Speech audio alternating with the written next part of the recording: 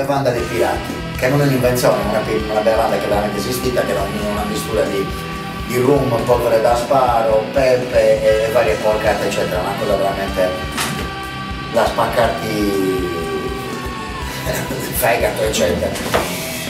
L'altro è il grog è un drago, un drago mitologico che praticamente è una sorta di ladro, protegge il tesoro, ci sta nella sua caverna, protegge il tesoro, ma è il tesoro che lui stesso ha rubato. Ok? E niente, quindi secondo me mi piaceva di questa cosa massiccia, immensa, che è chiaramente un drago che in più è un custode di tesoro, ma al tempo stesso è un ladro e niente, e, e questi sono i due, i due significati della parola.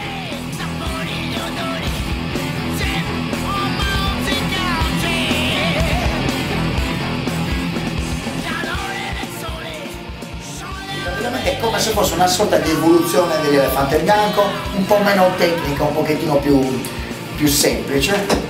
Eh, ed è, ed è, una cosa, ripeto, come tutte le cose che faccio io, nata per gioco, da un'idea mia di Gianni Solino, diciamo che è il co-leader de, della band, lui era un grandissimo fan, un appassionato di Elefante Bianco, si è deciso di, di, fare una sorta di recupero. Siccome io comunque sono rimasto affezionato all'Elefante Bianco, mi ha detto perché no, praticamente il Grog è metà, metà scaletta del concerto, canzoni nuove e l'altra metà è praticamente Elefante Bianco.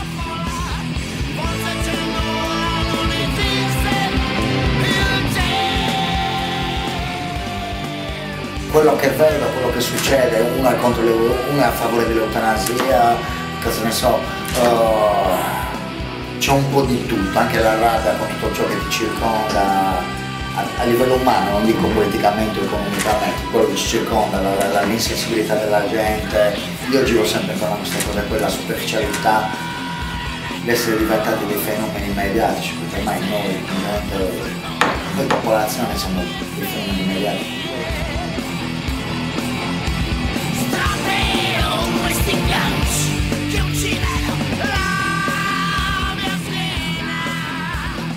Una parentesi sul Gio Perrino solista. Mm-hmm. Eh, siamo anche casualmente in un'ex questura. Sì. No? una bella coincidenza. Sì, l'ho visto, ho visto le celle. Adesso per, per, un motivo o per l'altro sono sempre intorno a carceri eh, o situazioni, no. anche perché ho fatto ho, un disco di canzoni di Malavita che è incredibile, è stato un successo, adesso ho fatto uscire il prossimo e praticamente non ho fatto altro che recuperare, riarrangiare eh, delle canzoni diciamo di, di, di, di, popolari, che ormai sono delle canzoni diciamo di uso comune, delle canzoni che, che, che, come si possono dire, dei tradizionali. Io le ho riarrangiate, riviste un pochettino, alcune addirittura le ho scritte di mio pugno, però sempre prendendo spunti da, da, da, da vecchie cose. E ho fatto questo lavoro qua per fare in modo che delle cose che erano buttate via erano soltanto dei demo tape o delle cassette che nessuno conosceva, fare in modo che diventassero un pochettino più, più popolari, più, più note e anche per, per, risvegliare un pochettino la coscienza della gente, perché la gente molte volte non si rende conto della situazione carceraria, io ho avuto l'opportunità di suonare in vari carceri, ehm, anche se, se, le canzoni sembrano buffe, ma i testi sono molto molto pieni di significato, sono molto sofferti, sono canzoni che la gente si è scritta, tatuata sulla, mm-hmm. sulla pelle, perché la situazione carceraria italiana è veramente un disastro infatti tu dici, si dice che la, la, il livello di civiltà di un paese lo, lo si dovrebbe vedere da, da come sono, sono, le carceri e da noi è un disastro, in un carcere come quello, la casa circondariale di Boncammino, quello di Cagliari, sì. è cosa dove ho suonato, ho fatto uno spettacolo per i detenuti e cioè, praticamente è, sovra, è, è sovrappopolato, cioè sono praticamente tre volte tanti, cioè invece di essere cosa ne so, 3-4 persone in cielo arrivano ad essere anche in 6, in 8, è veramente un disastro.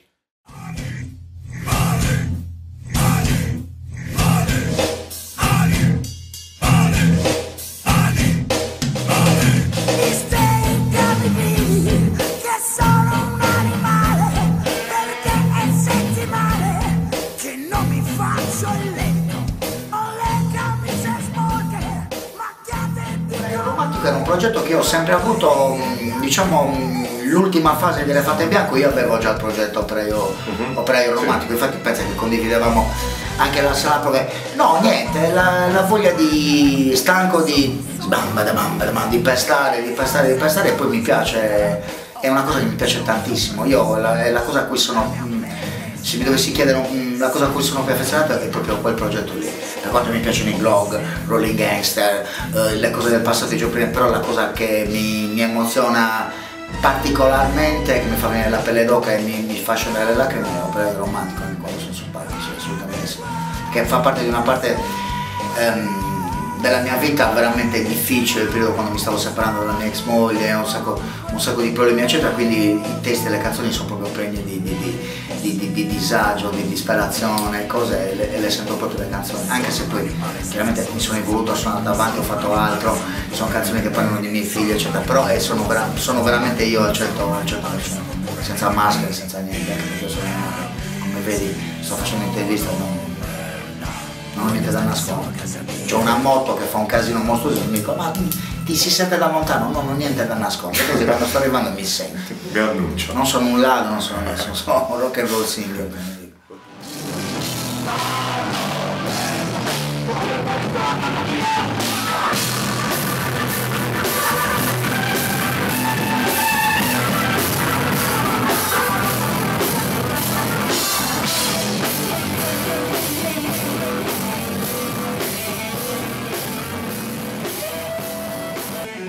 Particolarmente la scena, anche perché non ho più voglia, devo essere sincero, non me ne frega niente, penso, penso al mio orticello e boh.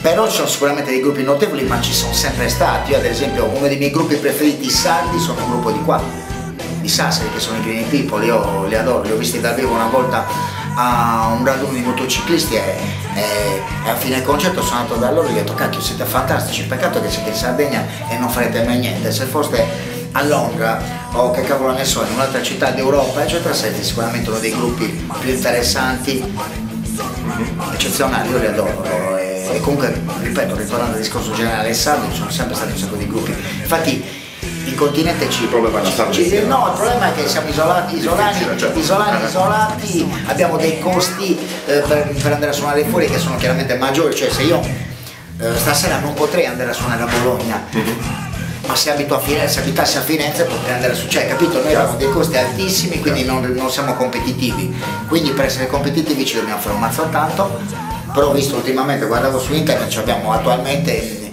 in, in, giro per l'Italia ci sono King, King All Quartet e Siki Tiki, sono un altro paio di band che sono in tournée in Italia e so, ho incontrato uno di loro l'altro giorno che con è successo. Io quando vedo queste cose invece di essere invidioso come molti stronzi sono contento, applaudo capito? Sono, è bello perché vuol dire che stai, stai, lavorando, stai tirando fuori il nome della Sardegna, quello che abbiamo sempre cercato di fare con Gio Perrino, con l'Elefante Bianco. Perché avete fatto? E ce l'abbiamo fatto e che comunque esistiamo, cioè mi raccontava l'altro giorno io ho fatto Giancarlo Onorato all'FBI, ho organizzato il concerto io e il chitarrista mi diceva che il giorno prima era Rock TV con, col col tizio di Marlene Kunz, Gode Cristiano Collano, c'era un manifesto gigante, c'era Lead FIBA, Live, Roma, non so cosa, e sotto Gio Pennella del Mello, per dirti, ne abbiamo fatto. Io, io esisto, nel, io sono nelle varie enciclopedie della musica rock italiana, quella di Renzo Arbi, della Rusconi, ma un sacco di libri che sono usciti adesso, abbiamo fatto, quindi noi sardi siamo comunque, abbiamo le palle, il problema è che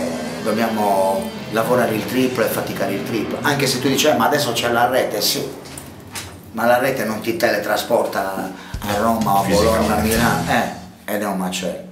Però ripeto, la scena sarda è sempre stata forte e continuerà ad esserlo. Ok.